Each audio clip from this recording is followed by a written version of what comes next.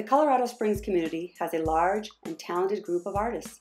Most are undiscovered and have limited resources, so they aren't able to get the exposure they need to become successful. The goal of the Pikes Peak Studio Tour is to give artists the opportunity to be seen. The tour has been around for 14 years, and it's the only one like it in our community. Over that period of time, we have featured over 60 artists from a wide variety of genres, including oil, acrylics, and encaustic painters, potters, weavers, photographers, jewelry designers, stained glass makers, furniture artisans, and more. Since the Pikes Peak Studio Tour is free for the community, we struggle to raise enough money to put on the event.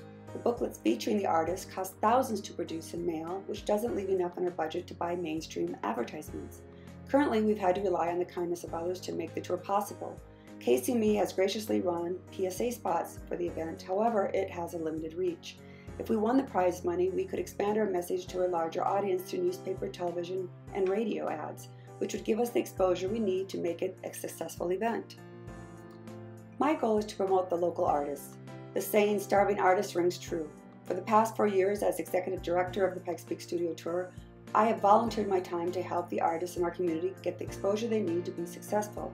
Help me get the word out and support the artists in our community. With your support, we can make this event possible.